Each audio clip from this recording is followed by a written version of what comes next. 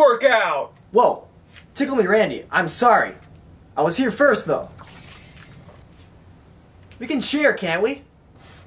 I need my privacy! Whoa, man, not cool.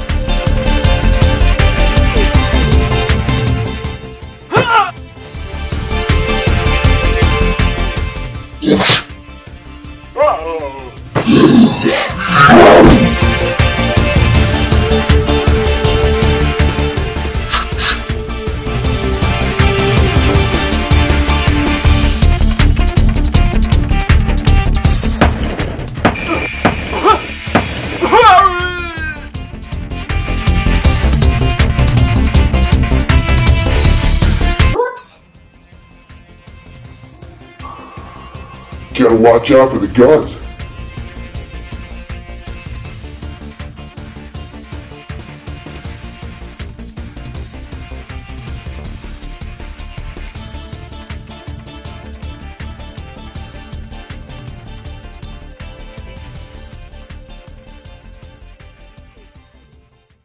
What I want you to do first is pair biceps with shoulders.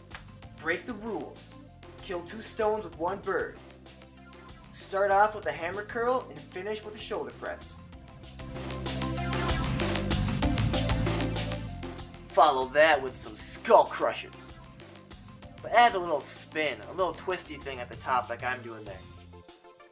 You know, spice things up a bit. Shock the system. And you don't need a ball. You can you can lay on the floor or bench. That'll work just fine too.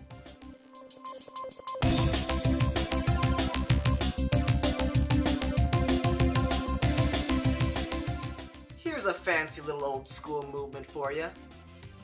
It'll hit both parts of your bicep and rough your forearms up while it's at it. Its name, the Zotman curl.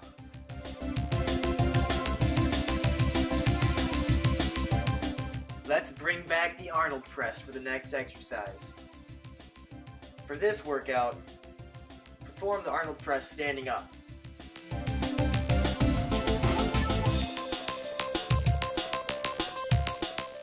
Alright, these ones can be tricky little devils. Standing dumbbell tricep extensions. Try to keep your upper arm in the same place throughout the exercise, and keep your elbows close to your head.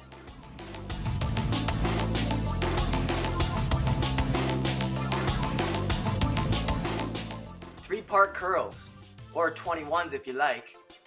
Each set of 21s will require 7 reps for each variation of a dumbbell curl. Start by not extending through the curl for the first 7. Then extend all the way, but don't completely flex. And then for the final 7, complete the full curl. These will leave you bleeding. It's a great way to finish off your biceps.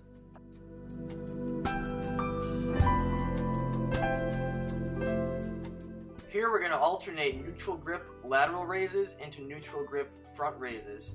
And for each type of delt raise, do 8 reps.